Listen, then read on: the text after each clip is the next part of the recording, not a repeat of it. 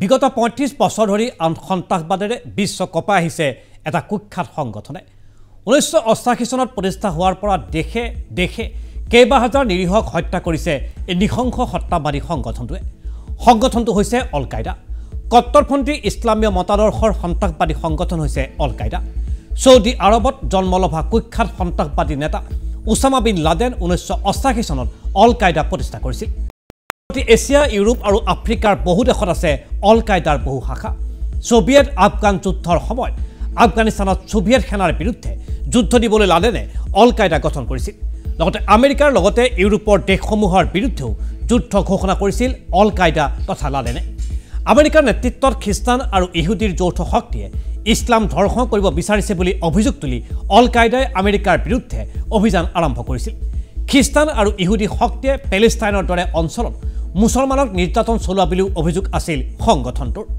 All কায়দাই দুহেজাৰ এঘাৰ চনত আমেৰিকাৰ বক্ষস্থলত ভয়ংকৰ আক্ৰমণ চলাইছিল। সংগঠনটোৰ মুৰব্বী লাডেনৰ নিৰ্দেশতে চলিছিল এই বৰপুৰস্থিত আক্ৰমণ। দুহেজাৰ এক চনৰ এঘাৰ ছেপ্টেম্বৰত অল কায়দাৰ সন্ত্ৰাসবাদীয়ে বিমান অপহৰণ কৰি নিউয়ৰ্কৰ বিশ্ব বাণিজ্য সংস্থাৰ সুউচ্চ অট্টালিকাত আক্ৰমণ চলাইছিল। অল কায়দাৰ আত্মঘাতী সন্ত্ৰাসবাদীয়ে বিমান চলাই বিশ্ব বাণিজ্য সংস্থাৰ দুটা অট্টালিকাত খুন্দা মাৰিছিল। যি আক্ৰমণত নিহত হৈছিল প্ৰায় দুহেজাৰ সাতশগৰাকী ব্যক্তি। আনহাতে একেটা দিনতেই পেণ্টাগনৰ মুখ্য সামৰিক কাৰ্যালয়টো বিমানেৰে খুন্দিয়াই অল কায়দাৰ সন্ত্ৰাসবাদীয়ে হত্যা কৰিছিল এশ ত্ৰিছজনকৈ ব্যক্তিক ইয়াৰ পাছত দুহেজাৰ দুই চনত ইণ্ডোনেছিয়াৰ বালিত অল কায়দাৰ সন্ত্ৰাসবাদীয়ে বোমা বিস্ফোৰণ ঘটাই হত্যা কৰিছিল ভিন্ন দেশৰ দুশতকৈও অধিক লোকক।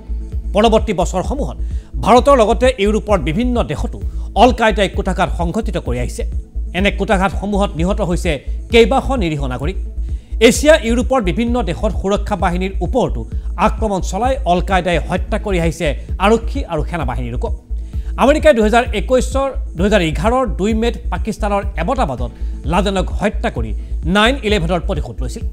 লাডেনৰ হত্যাৰ পাছত আইনাল অল জাবাহৰীয়ে অল কায়দাৰ নেতৃত্ব গ্ৰহণ কৰিছিল। নাইন ইলেভেন আক্ৰমণৰ অন্যতম মাষ্টাৰমাইণ্ড আছিল জৱাহাৰী।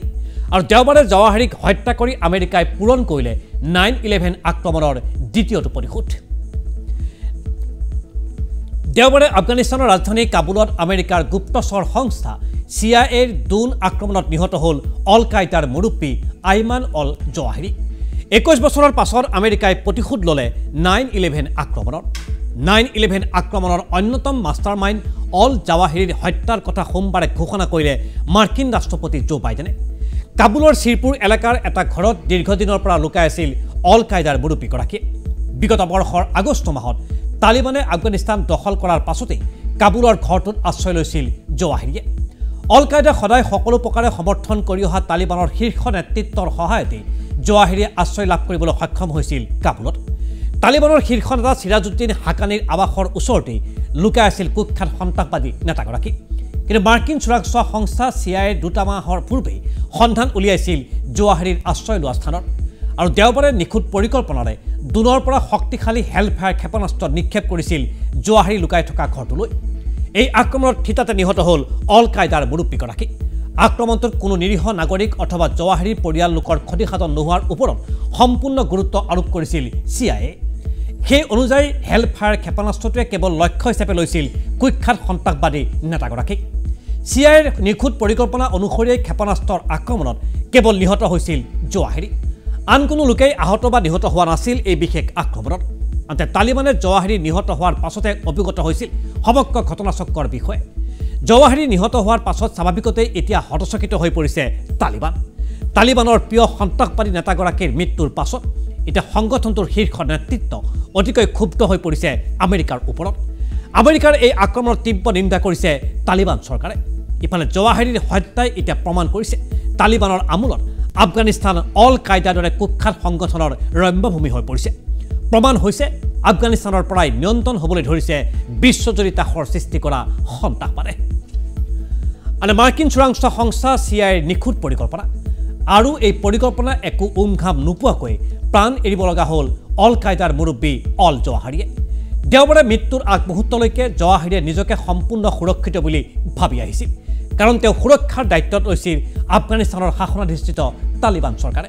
কিন্তু ক্ষেপণাস্ত্ৰৰ আঘাতত পিছ মুহূৰ্ততেই মৃত্যুবৰণ কৰিব লগা হ'ল কুখ্যাত সন্ত্ৰাসবাদী নেতাগৰাকী।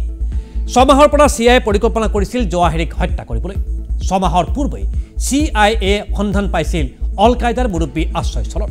আৰু এই বিষয়ে অৱগত কৰিছিল মাৰ্কিন ৰাষ্ট্ৰপতি জো বাইডেনক।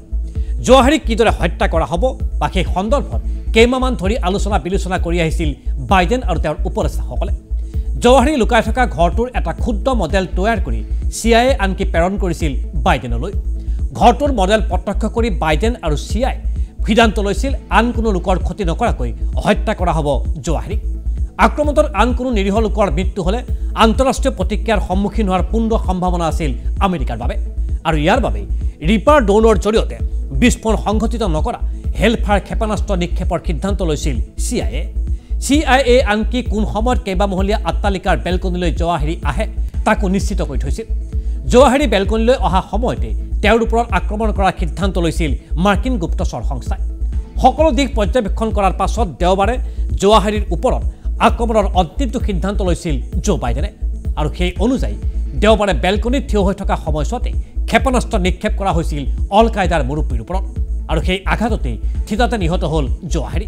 সফল হৈছিল বাইডেন আৰু চি আইৰ কেইমাহজোৰা সুপৰিকল্পিত আঁচনিৰ।